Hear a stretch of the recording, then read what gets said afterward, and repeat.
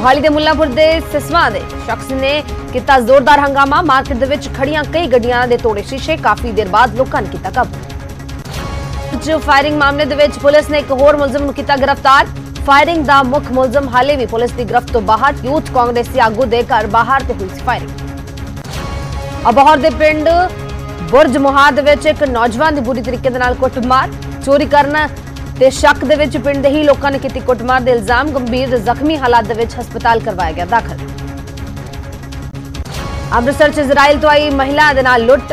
ਚਲਦੇ ਆਟੋ ਦੇ ਵਿੱਚ ਬੈਠੀ ਮਹਿਲਾ ਦਾ ਬੈਗ ਖੋ ਕੇ ਫਰਾਰ ਹੋਏ ਬਾਈਕ ਸਵਾਰ। ਖਿੱਚ ਤੂ ਦੌਰਾਨ ਆਟੋ ਤੋਂ ਹੇਠਾਂ ਡਿੱਗੀ ਮਹਿਲਾ ਦੇ ਲੱਗਿਆ ਸੱਟਾਂ। ਪੁਲਿਸ ਨੇ ਲੁੱਟਾਂ ਖੋਹਾਂ ਕਰਨ ਵਾਲੇ ਗਰੋਹ ਦੇ 12 ਮੈਂਬਰਾਂ ਨੂੰ ਕੀਤਾ ਗ੍ਰਿਫਤਾਰ। ਗ੍ਰਿਫਤਾਰ ਮੁਲਜ਼ਮਾਂ ਦੇ ਵਿੱਚ ਪੰਜ ਮਹਿਲਾਵਾਂ ਵੀ ਸ਼ਾਮਲ। ਰਾਤ ਦੇ ਸਮੇਂ ਲੋਕਾਂ ਨੂੰ ਬਣਾਉਂਦੇ ਸੀ ਆਪਣਾ ਸ਼ਿਕਾਰ, ਤੇਜ਼ਧਾਰ ਹਥਿਆਰ ਵੀ ਕੀਤੇ ਬਰਾਮਦ। ਵੀਰਾਨਗਰ ਦੇ ਸੰਤੋਸ਼ ਪੈਲੇਸ ਨੇੜੇ ਬੰਦ ਪਏ ਇੱਕ ਘਰ ਦੇ ਵਿੱਚ ਚੋਰੀ, ਤਾਲੇ ਤੋੜ ਕੇ 1 ਲੱਖ ਰੁਪਏ ਲੈ ਕੇ ਫਰਾਰ ਚੋਰ। ਘਟਨਾ ਸਮੇਂ ਕੰਮ ਦੇ ਲਈ ਬਾਜ਼ਾਰ ਗਿਆ ਹੋਇਆ ਸੀ ਪਰਿਵਾਰ।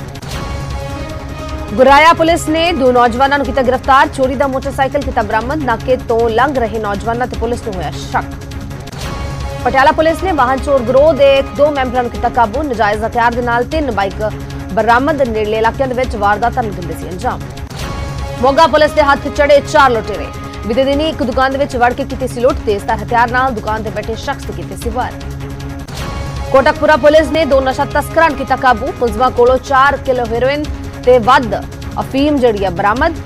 ਪੁਲਿਸ ਨੇ ਐਨਡੀਪੀਐਸ ਐਕਟ ਤਹਿਤ ਕੀਤਾ ਮਾਮਲਾ ਦਰਜ।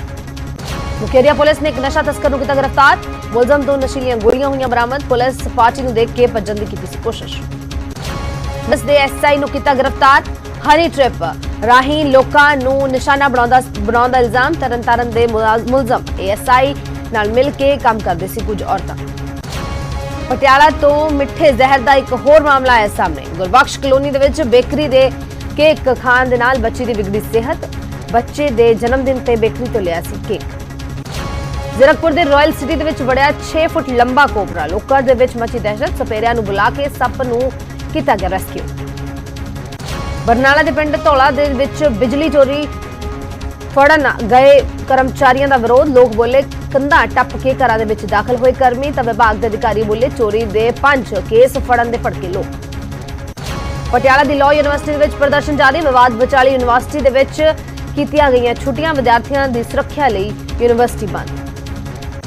ਜਲੰਧਰ 'ਚ ਸ਼੍ਰੀ ਗੁਰੂ ਤੇਗ ਬਹਾਦਰ ਨਗਰ ਦੇ ਇੱਕ ਪਰਿਵਾਰ ਨੇ ਕੀਤਾ ਪ੍ਰਦਰਸ਼ਨ। ਨੌਜਵਾਨ ਦੀ ਖੁਦਕੁਸ਼ੀ ਮਾਮਲੇ ਦੇ ਵਿੱਚ ਇਨਸਾਫ ਦੀ ਕੀਤੀ ਮੰਗ। ਗੁਆਂਢ ਦੇ ਵਿੱਚ ਇੱਕ ਮਹਿਲਾ ਤੇ ਪਤੀ ਤੇ ਕਤਲ ਕਰਨ ਲਗਾਏ ਇਲਜ਼ਾਮ।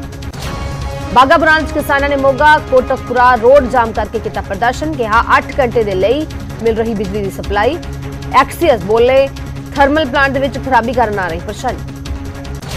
ਯੂਪੀ ਦੇ ਪ੍ਰਤਾਪਗੜ੍ਹ ਦੇ ਵਿੱਚ ਆਰਟੀਓ ਵਿਭਾਗ ਦੀ ਵੱਡੀ ਲਾਪਰਵਾਹੀ। ਬਿਨਾਂ ਪਰਮਿਟ ਬੀਮਾ ਤੇ ਫਿਟਨੈਸ ਨਾ ਹੋਣ ਦੇ ਕਾਰਨ ਸਕੂਲੀ ਬੱਚਿਆਂ ਨਾਲ ਭਰੀ ਬੱਸ ਕੀਤੀ ਜ਼ਬਤ, ਡੀਐਮ ਦੇ ਹੁਕਮਾਂ ਤੋਂ ਬਾਅਦ ਬੱਸ ਨੂੰ ਛੱਡਿਆ ਗਿਆ। ਚੰਡੀਗੜ੍ਹ 'ਚ ਨੌਜਵਾਨ ਨੂੰ ਵੰਡੇ ਗਏ ਸਰਕਾਰੀ ਨੌਕਰੀਆਂ ਲਈ ਜੁਆਇਨਿੰਗ ਲੈਟਰ ਸਿਹਤ ਮੰਤਰੀ ਡਾਕਟਰ ਬਲਬੀਰ ਸਿੰਘ ਨੇ 586 ਨੌਜਵਾਨ ਮੁੰਡੇ ਕੁੜੀਆਂ ਨੂੰ ਸੌਂਪੇ ਨਿਯੁਕਤੀ ਪੱਤਰ। ਸਿਹਤ ਵਿਭਾਗ ਦੇ ਵਿੱਚ ਕੀਤੀ ਨਵੀਂ ਭਰਤੀ। ਹਰਿਆਣਾ ਦੀ ਰਣੀਆਂ ਦੇ ਵਿੱਚ ਕੇਜਰੀਵਾਲ ਨੇ ਕੀਤਾ ਰੋਡ ਸ਼ੋਅ। ਬੋਲੇ ਜੇਲ੍ਹ ਦੇ ਵਿੱਚ ਸੁੱਟ ਕੇ ਬੀਜੇਪੀ ਤੋੜਨਾ ਚਾਹੁੰਦੀ ਸੀ ਮੇਰਾ ਹੌਸਲਾ, ਪਰ ਹਰਿਆਣਾ ਵਾਲੇ ਹੁੰਦੇ ਨੇ ਬਹੁਤ ਮਜ਼ਬੂਤ। ਰਾਜਪੁਰਾ ਨਾਭਾ ਥਰਮਲ ਪਲਾਂਟ 'ਚ ਤਕਨੀਕੀ ਖਰਾਬੀ ਕਾਰਨ ਇੱਕ ਯੂਨਿਟ ਬੰਦ। ਨਾਭਾ ਥਰਮਲ ਪਲਾਂਟ ਵਿੱਚ ਲੱਗੇ ਨੇ 700 ਮੈਗਾਵਾਟ ਦੇ ਦੋ ਯੂਨਿਟ। ਥਰਮਲ ਪਲਾਂਟ ਦੇ ਅਧਿਕਾਰੀਆਂ ਨੇ ਦਿੱਤੀ ਜਾਣਕਾਰੀ।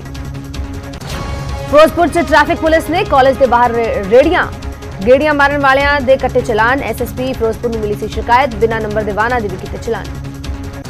ਫਰੀਦਕੋਟ 'ਚ ਵਿੰਟੇਜ ਸਕੂਟਰਾਂ ਦੀ ਲੱਗੀ ਪ੍ਰਦਰਸ਼ਨੀ। 50 ਸਾਲ ਪੁਰਾਣੇ ਮਾਡਲ ਦੇ ਸਕੂਟਰ ਵੀ ਦੇਖਣ ਨੂੰ ਮਿਲੇ। ਸ਼ਹਿਰ ਦੇ ਇੱਕ ਅਧਿਆਪਕ ਵੱਲੋਂ ਕੀਤੀ ਜਾਂਦੀ ਹੈ ਸਾਂਭ ਸੰਭਾਲ।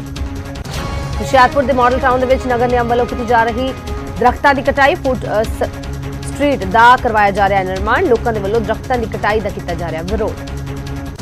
ਬਰਨਾਲਾ ਨਗਰ ਕੌਂਸਲ ਦੀ ਮੀਤ ਪ੍ਰਧਾਨ ਬਣੇ ਪਰਮਜੀਤ ਸਿੰਘ। ਸਰਬਸੰਮਤੀ ਦੇ ਨਾਲ ਹੋਈ ਸੀ ਚੋਣ। ਸ਼ਹਿਰ ਦੇ 31 ਵਾਰਡਾਂ ਦੇ ਮੈਂਬਰਾਂ ਨੇ ਲਿਆ ਹਿੱਸਾ।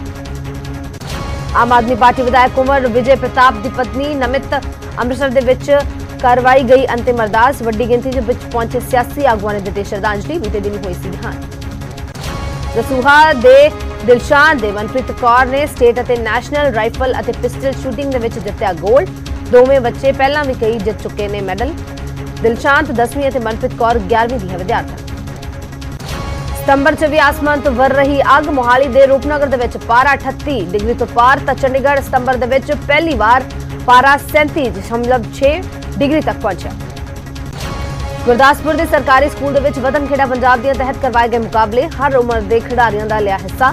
ਪੰਜਾਬ ਹੈਲਥ ਸਿਸਟਮ ਕਾਰਪੋਰੇਸ਼ਨ ਦੇ ਚੇਅਰਪਰਸਨ ਚੇਅਰਮੈਨ ਰਮਨ ਬਹਿਲ ਨੇ ਜਿੱਤਿਆ ਉਹਨਾਂ ਦਾ ਸਨਮਾਨ। ਪਟਿਆਲਾ ਪਹੁੰਚੇ ਬਾਲੀਵੁੱਡ ਅਦਾਕਾਰ ਅਜੇ ਦੇਵਗਨ, ਕੋਲੀ ਮਾਤਾ ਮੰਦਰ ਦੇ ਵਿੱਚ ਟੇਕਿਆ ਮੱਥਾ, ਸ਼ੂਟਿੰਗ ਦੇ ਲਈ ਆਈ ਸੀ ਪਟਿਆਲਾ।